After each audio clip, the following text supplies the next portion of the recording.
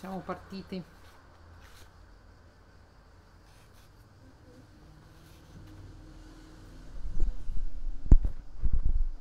Siamo partiti.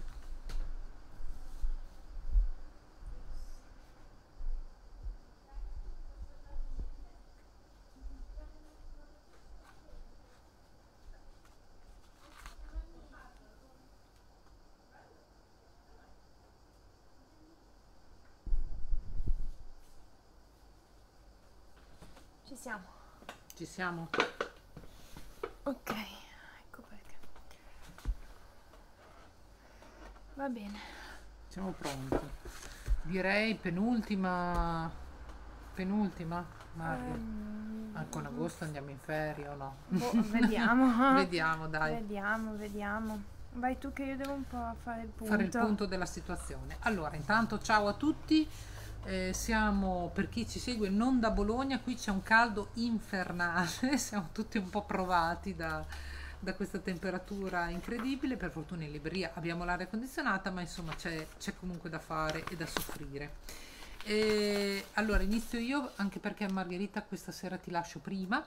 Ehm, diciamo, mi sa che andiamo breve stasera. Stasera siamo brevi anche perché cose. già le uscite sono- si sono molto diradate questa settimana. L'arrivo, diciamo, classico settimanale è stato più o meno la metà dei soliti arrivi, quindi eh, vi presentiamo qualche cosa di nuovo, però eh, tutto sommato abbastanza. ehm, eh, abbastanza stringato. Tra l'altro, Margherita, stavo guardando che eh, ah, la, la- la nuova collana di Sellerio. Hai visto che sono arrivate le due copie stasera? Mm. Sì, sì, ho- ce l'ho Ok, qua. le- perfetto.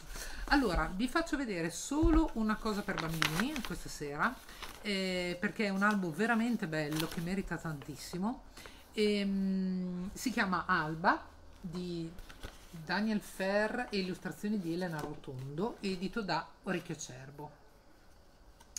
E, eh, ed è una, eh, un piccolo viaggio eh, notturno con illustrazioni veramente magnifiche che raccontano di questa passeggiata notturna. Il bambino dice a quest'ora di solito sto, dorm- sto dormendo, questa sera no, oggi sono sveglio, questa notte no, sono sveglio, perché il padre lo accompagna a fare una passeggiata e lui non sa perché, non sa dove andrà, segue il padre, segue il padre al buio fino ad arrivare ad un bosco eh, dove si, si sentono rumori in lontananza, anche un po' di paura, comunque insomma sempre dietro al padre, non capisce quale sia il senso di questa passeggiata, lo scoprirà solo, senza parole, senza che il padre abbia bisogno di spiegarglielo, quando inizierà la luce e pian piano le cose si disveleranno, il bosco, la natura, gli animali eh, diverranno visibili in questa luce bellissima dell'alba mattutina.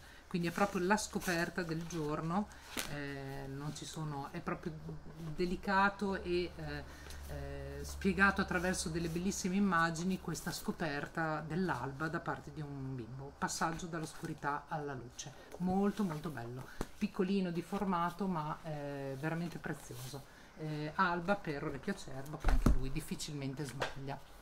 Vuoi introdurti con un saluto, con una breve introduzione? a me che, che nessuno mi conosce ovviamente. No, allora ho qui due copie ehm, appunto che ci sono arrivate da Sellerio, ma poi in libreria non abbiamo solo queste, abbiamo tutti i titoli che sono usciti in questa prima buttata del 15 luglio. Eh, perché Sellerio ha lanciato, Sellerio è una casa editrice che quest'anno festeggia o ha festeggiato l'anno scorso i 50 anni. Mm. Nonostante questo, ehm, è una, secondo me, delle più dinamiche e attente a- al- alle cose nuove e, e a cercare di recuperare anche i classici, a scoprire nuovi scrittori, scrittrici sia italiani che stranieri. Quindi, insomma, è veramente un esempio, secondo me, nell'editoria indipendente fortissimo. E cosa ha fatto la settimana scorsa? Ha lanciato una collana nuova, appunto, questo è sempre eh, molto bello quando succede e soprattutto succede in una casa editrice che amiamo e mm, si chiama Promemoria perché cosa va a fare? Va a ripubblicare in edizione economica con una copertina un po' diversa dai soliti selleri, ovviamente li avevo qui, li ho già persi. Eccoli, quelli che ho preparato qua. Va a ripubblicare in questa edizione, tra l'altro un po' più grande dei selleri classici eh, piccolini blu, eh, a 10 euro dei eh, titoli che fanno un pochino la storia del catalogo Sellerio e che sono diventati eh, irreperibili o comunque molto difficili da trovare. Ne hanno pubblicati, mi sembra, 6 per adesso, esatto. Sì. Quello che ho in mano, esatto. Quello che ho in mano è, dov'è? 18 libri. L'ultima provincia di Luisa Adorno ed è stato ripubblicato perché appunto è il centenario di Luisa Adorno quest'anno. E, fra l'altro lei scriveva con pseudonimo. E, ed è appunto un, un romanzo di questa scrittrice pubblicato nel 62 come prima uscita che racconta le vicende del suocero prefetto della Repubblica in Sicilia all'indomani della guerra e della prefettessa sua moglie.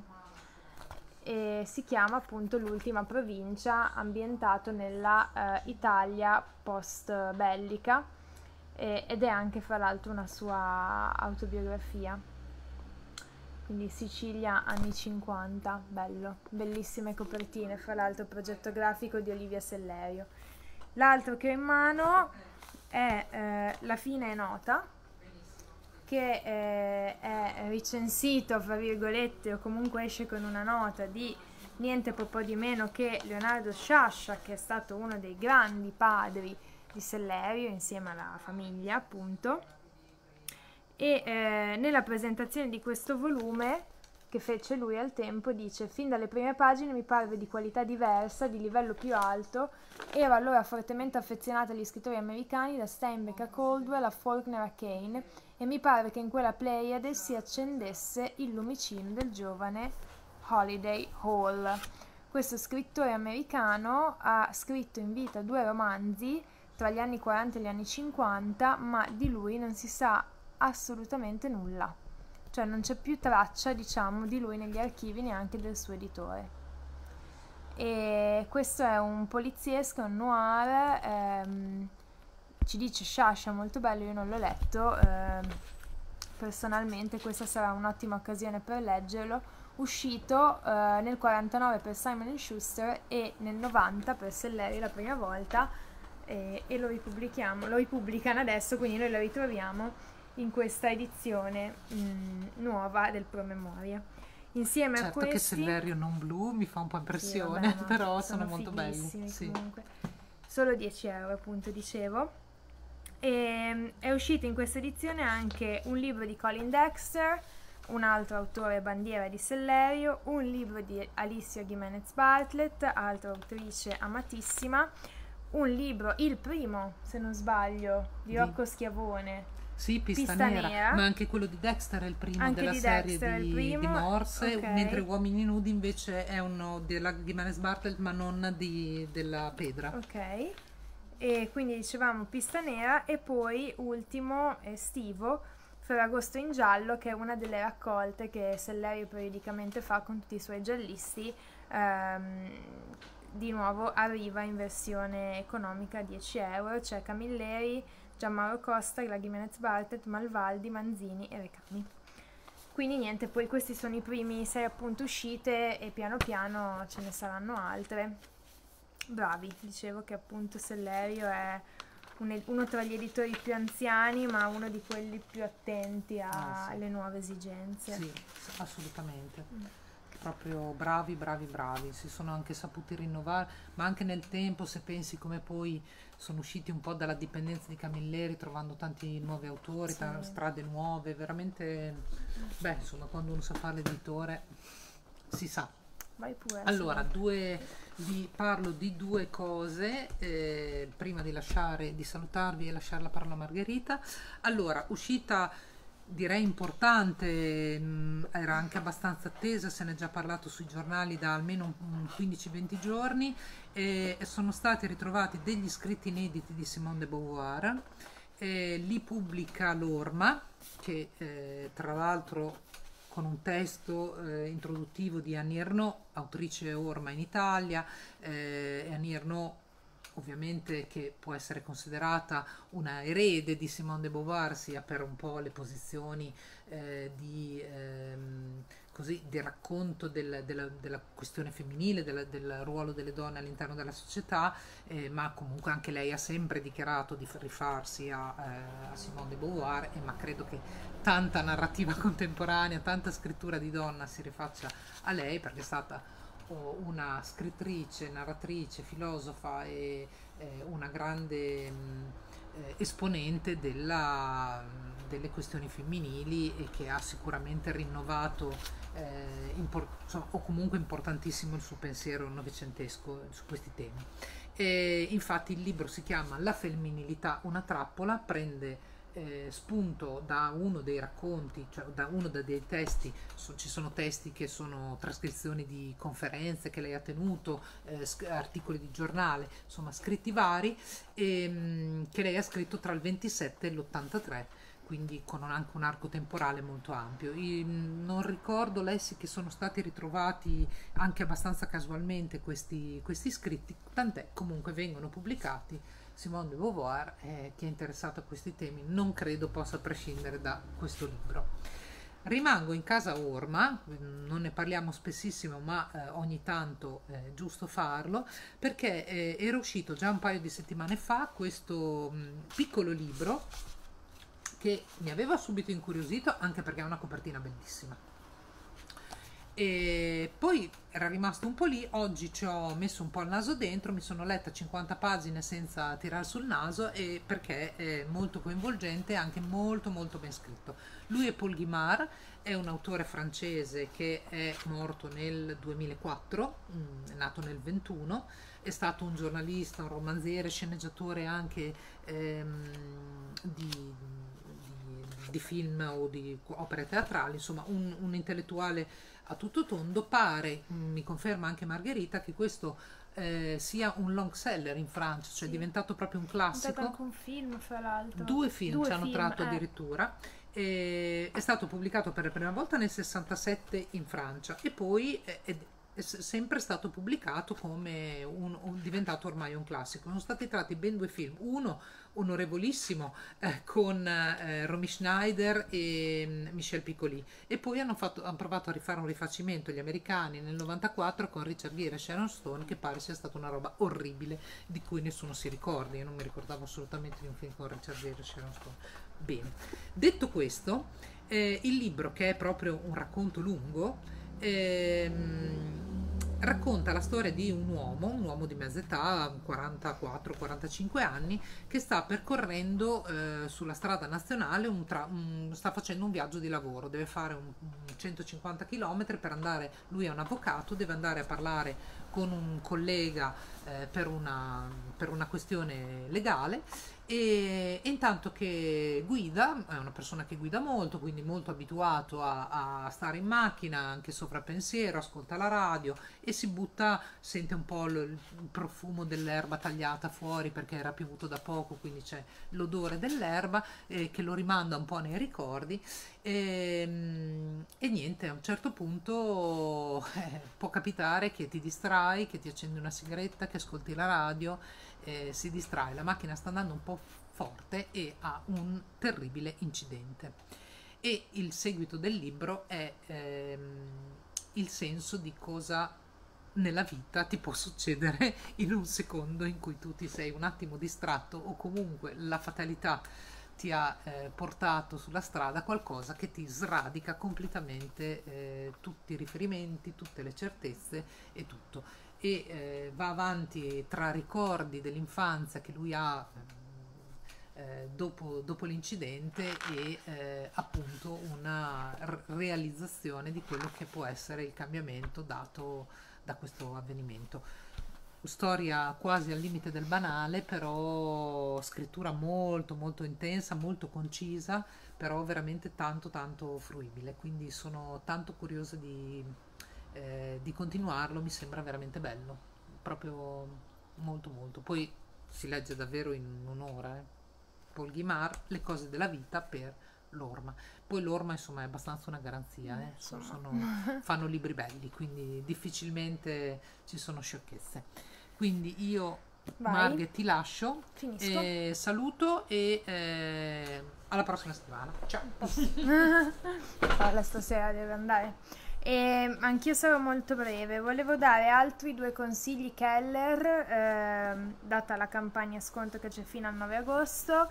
Eh, sta andando molto bene, suppongo, perché molti libri insomma sono mezzi, non si trovano, quindi ho scritto a Keller in persona per averli, adesso sto aspettando che me li invii. Quindi se eh, volete aderire alla campagna per avere il 20% di sconto sul catalogo e ordinate dei libri, dovete avere un po' di pazienza perché li stiamo aspettando anche noi alcuni titoli. Altri, tipo questi due, ci sono.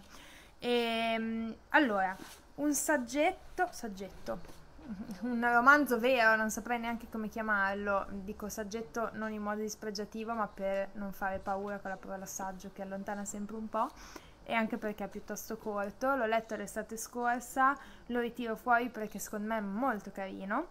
Eh, si chiama Terra di Nessuno di Philip Droge, credo si pronunci così.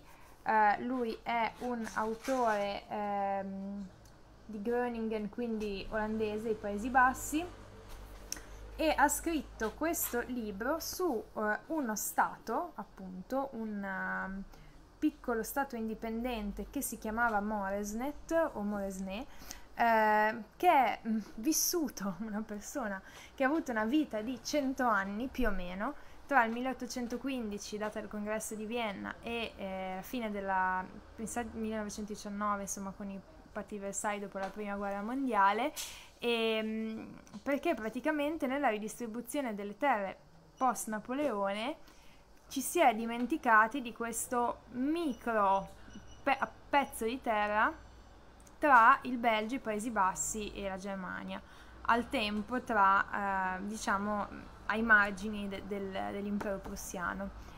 Questo mm, Stato, diciamo, si è eh, organizzato e ha avuto il suo nome, la sua bandiera e la sua moneta e ha iniziato appunto una vita propria eh, grazie a del, degli industriali che ci hanno investito, cioè è una storia epica che dura 100 anni ed è la parabola appunto di questa nazione indipendente.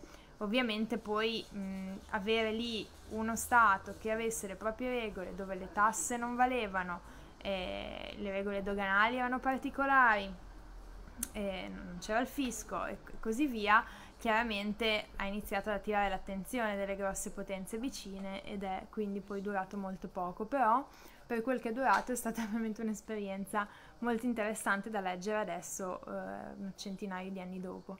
E, e Droghe, devo dire, lo racconta in modo veramente accattivante, non sembra di leggere un, un un cent'anni di storia sembra veramente di leggere un'epopea romanzata, un romanzo di avventura dove il protagonista invece di essere una persona è un, pa- un piccolo paese. E quindi anche questo appunto catalogo Keller molto interessante.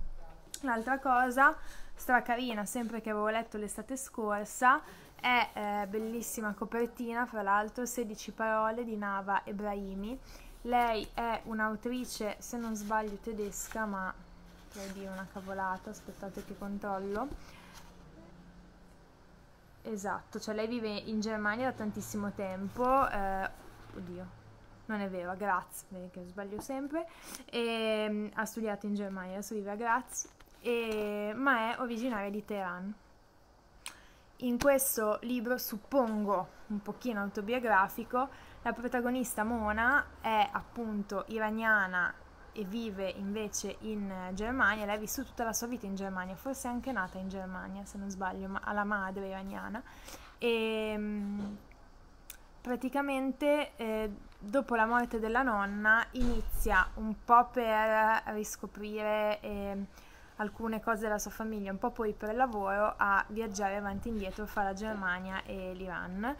E eh, la cosa molto carina di questo libro è che è diviso in 16 capitoli, che sono 16 parole eh, in persiano che ehm, praticamente non hanno traduzione in tedesco e eh, sono 16 parole che avvicinano eh, Mona a, sia al suo passato che alla riscoperta del, del paese da, di cui la sua famiglia è originaria. E, e quindi è, è, molto carino perché anche tutta questa questione appunto della, della lingua, eh, della lingua che è una cosa che si apprende, certo, ma è anche qualcosa che apprendiamo in modo innato, cioè quando, siamo, quando si è molto piccoli appunto viene, come dire, no? eh, è instillata, viene ascoltata e, e, molte parole rimangono intraducibili poi nelle lingue che apprendiamo coscientemente da, da più grandi. E un po' è, è, è, la base di questo libro. E molto tenero, anche molto delicato appunto nel poi anche raccontare la, la differenza fra queste due culture di cui Mona fa parte in, in modo uguale, cioè in lei ci sono entrambe, ma poi farle coesistere all'esterno non è semplice. Di questo tema ne parliamo molto spesso, appunto della, uh, dei conflitti, de- della convivenza culturale sia all'interno della stessa persona, uh, quando deve coniugare le proprie radici, magari lo stato, la nazione di arrivo, sia poi a, a livello più storico, politico, appunto quando abbiamo parlato di Israele e Palestina, per esempio. A tal proposito vi volevo segnalare altre due cose eh, sempre scritti da eh, autrici. Uno è un romanzo appena uscito per Clichy che ci è arrivato tagliato, vabbè ma provvederemo a chiedere un'altra copia almeno. Clichy um, ha degli, insomma, varie cose molto belle, fra cui un'ottima selezione di autori e autrici francesi o comunque che scrivono in francese, come eh, Shumona Sinaha, non so se si pronunci così, eh, lei è un'autrice indiana che scrive in francese perché vive a Parigi da molto tempo. Il suo romanzo, eh, questo è il terzo suo, non so se gli altri siano stati tradotti, devo indagare. Si chiama Apolide, in francese Apatride, quindi chiaramente traduzione letterale del titolo, senza patria. E eh, ha come protagonista, non l'ho ancora letto appena arrivato, tra l'altro devo richiederne un altro, ma vabbè, ha come protagoniste tre donne eh, indiane che eh, vivono in Francia per vari motivi e che in questo romanzo si eh, incrociano e insomma si, si ehm, influenzano a vicenda, le loro vite in qualche modo avranno dei punti di contatto. Quello che va a indagare questa autrice lo dice bene l'Express, che mh, mm, è stato messo ovviamente eh, in quarta di copertina, e dice la voce forte e lirica di una poetessa indiana trapiantata a Parigi, capace di raccontare come forse nessun altro lo sradicamento, lo spaesamento, il disagio e la solitudine di chi vive una forma di esilio. E mm, ne ho letto un capitolo, un capitolo vuol dire una pagina e mezzo perché ha dei capitoli molto molto brevi eh, e devo dire infatti ho subito pensato questa è una poetessa oltre che una romanziera come vi, vi, vi dico ogni tanto secondo me i poeti hanno un, un modo molto più scarno e molto più misurato di usare la lingua nel romanzo, poi quando vanno a scrivere in prosa, molto più netto, come se continuassero ad affettare le parole come, come si fa poi in poesia di solito. E, e, questo si percepisce subito nella scrittura di Shumona Sinha e um, sono molto curiosa perché non la conoscevo, ho visto che questo libro usciva, l'ho ordinato, attrato dal titolo e dall'editore perché Clichy è un ottimo, un'ottima garanzia. E quindi poi lo sapete io sono molto attenta in, ah, molto alla letteratura francese perché la leggo anche in lingua. Trovo che sia uno degli ambienti editoriali più vivaci sicuramente in Europa se non al mondo e, e quindi insomma vado subito a cercare queste cose qua e lo leggerò sicuramente appena riesco ovviamente perché infatti qui avete tutte cose che non ho letto, ho letto un anno fa perché non stiamo riuscendo a leggere molto come vi dicevamo.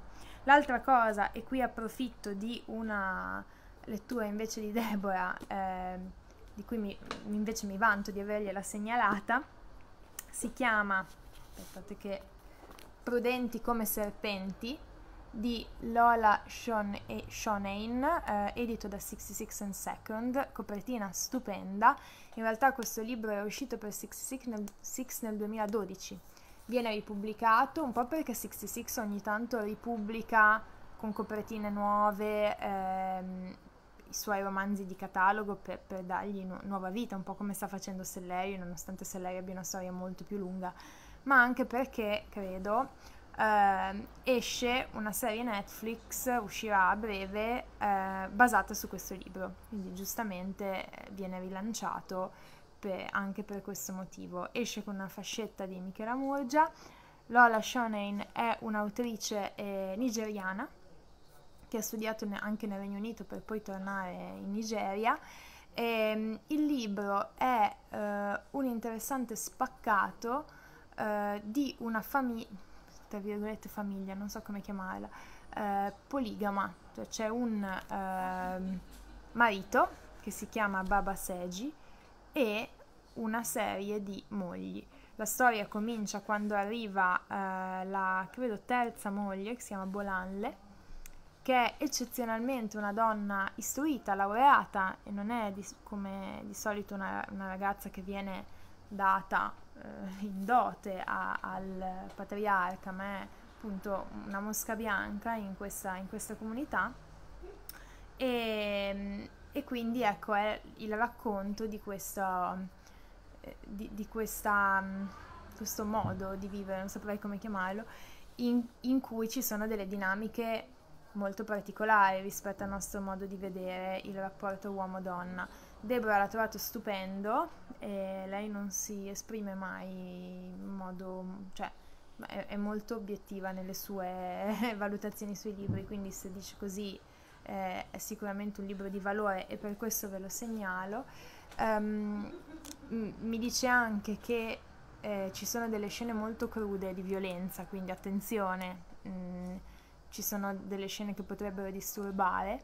E, ehm, quello che però c'è tantissimo è uno spaccato del tema principale, chiaramente è la condizione della donna, il suo rapporto quotidiano con l'uomo e, e anche la condizione della donna eh, verso la propria emancipazione, verso le altre donne della, della famiglia e anche tanto eh, il tema della maternità, perché una delle cose che succede è il fatto che eh, questa protagonista, eh, non riesce a rimanere incinta e eh, invece di chiedere come sempre solo agli stregoni o comunque appunto alla medicina tradizionale eh, nigeriana, Baba Seji decide di provare a eh, vorrebbe rivolgersi ai medici ed è lì che scatta tutto l'intreccio.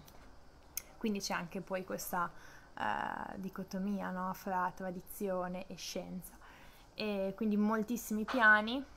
Il titolo originale è, mi piace sempre fare questo, questo confronto, The Secret Lives of Baba Seji's Wives, quindi vite segrete delle mogli di Baba Seji, perché appunto questo voler chiedere no, aiuto ai medici eh, rischia di eh, svelare un segreto che le mogli eh, stanno tenendo a, a Baba Seji, al capofamiglia, invece in italiano viene tradotto prudenti come serpenti. Ok, direi che vi ho segnalato un po' di cose, appunto non riuscendo tanto a leggere eh, non, ho un, una, una ricca scelta. Eh, sto ascoltando Tre Piani, anch'io, forse lo diceva Paola l'altro giorno, bellissimo, letto da Adriano Giannini, eh, Alba Vacher e Margherita Bui.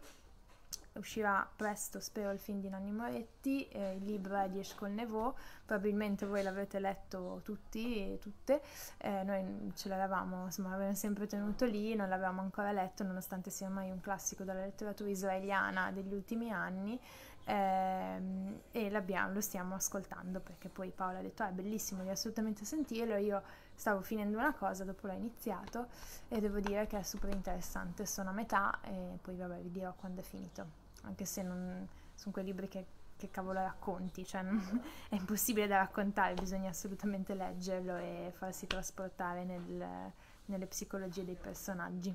Ciao, alla settimana prossima. Ah, eh, mercoledì 28 c'è Massimo Zamboni con la Trionferà eh, qui di fronte alla libreria. Vi aspettiamo. Ciao!